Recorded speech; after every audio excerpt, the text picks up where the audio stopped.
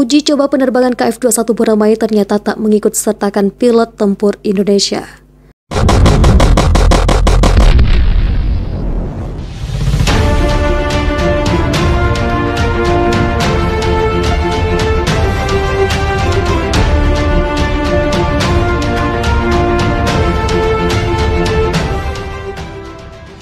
KF-21 Buramai Indonesia dan Korea Selatan alias Korsel segera terbang. Nantinya harga per unit KF-21 Buramai Indonesia akan dibanderol senilai 60 juta dolar Amerika Serikat.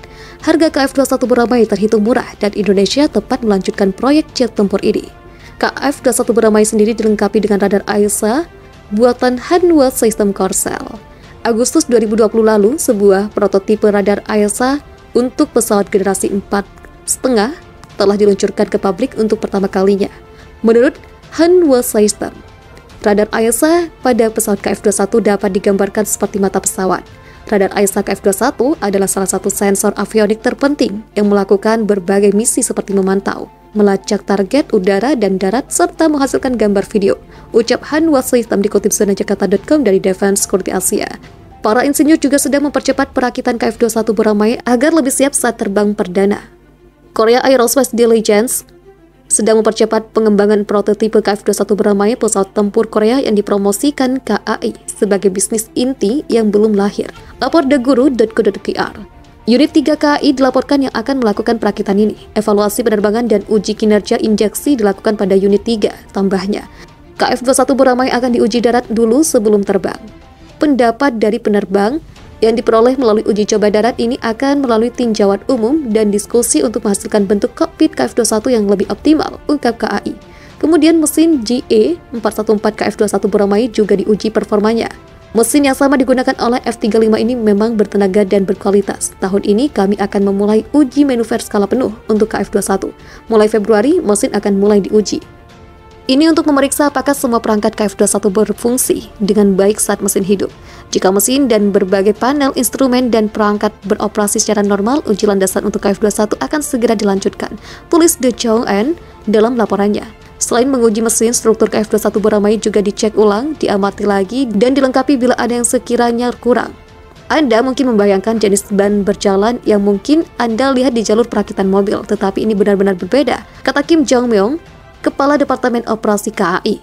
Pesawat tidak bisa dilas karena terbuat dari aluminium dan bahan khusus lainnya. Kami merakit ban kami merakit badan pesawat dan memasang sayap ke badan pesawat dengan mengebor banyak lubang di kedua sisi untuk memasukkan paku keling. Satu sayap membutuhkan lebih dari 10.000 paku keling, kata Lee Il-woo, seorang insinyur senior di proyek KF-21. Pembuatan KF-21 beramai sendiri sampai melibatkan berbagai macam pihak, termasuk ribuan pekerja dan insinyur. KAI sendiri memikul beban untuk memelihara dan memanfaatkan para insinyur pesawat tempur yang berpartisipasi dalam pengembangan KF-21. 1.600 insinyur Korea berpartisipasi dalam pembangunan, tetapi jika pembangunan dasar selesai cepat atau lambat, mereka akan kehilangan pekerjaan. Dalam hal ini dikatakan bahwa tenaga pengembangan pesawat tempur yang dilatih Korea Selatan untuk pertama kalinya pasti akan terbunuh, tulis De Eng. Namun yang patut agak disayangkan pilot tempur dari Indonesia nampaknya tak akan dilibatkan dalam uji coba penerbangan perdana KF-21 Buramai. Padahal Indonesia kebagian satu prototipe KF-21 Buramai yang harusnya diterbangkan sendiri oleh pilot tempur TNI AU. Diumumkan pada tanggal 24 bahwa penerbangan uji pertama dari pesawat tempur Buramai dijadwalkan untuk minggu kedua bulan Juni.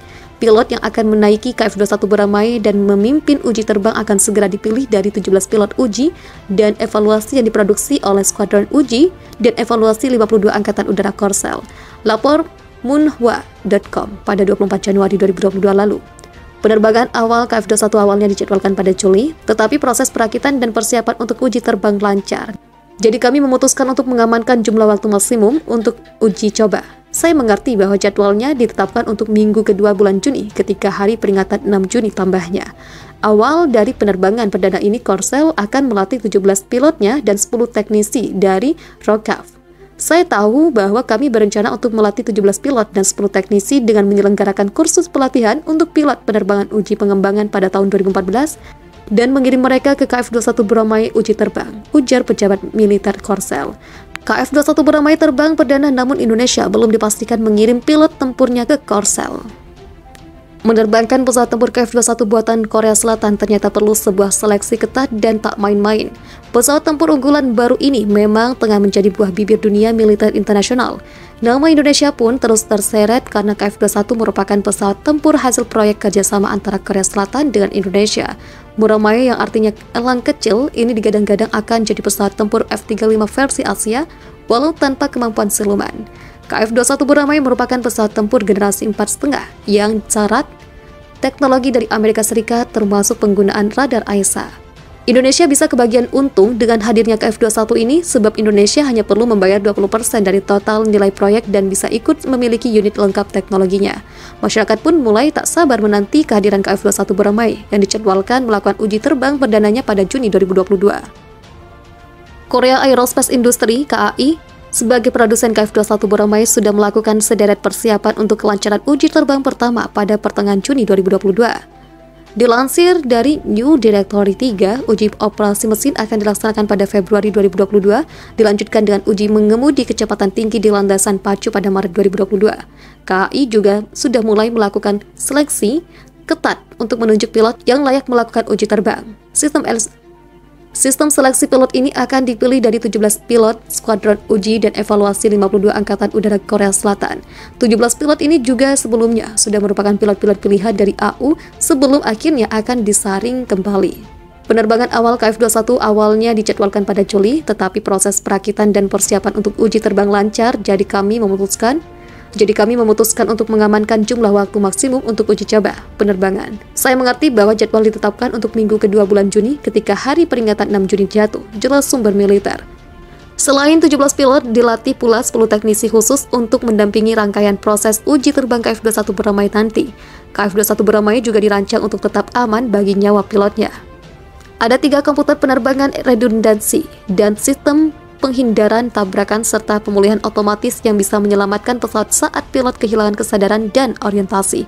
Ini artinya saat pilot kehilangan kesadaran dan tidak bisa melakukan kontrol, KF-21 berdamai akan bisa menemukan jalan pulangnya sendiri. Nyawa pilot pun bisa lebih terlindung dengan kehadiran teknologi ini. Bukan tidak mungkin juga kalau nantinya KF-21 berdamai disertai dengan teknologi seluman.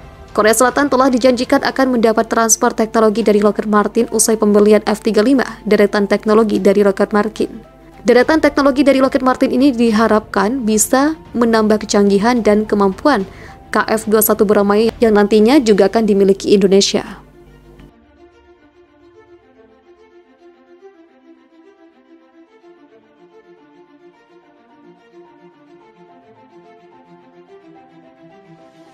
Thank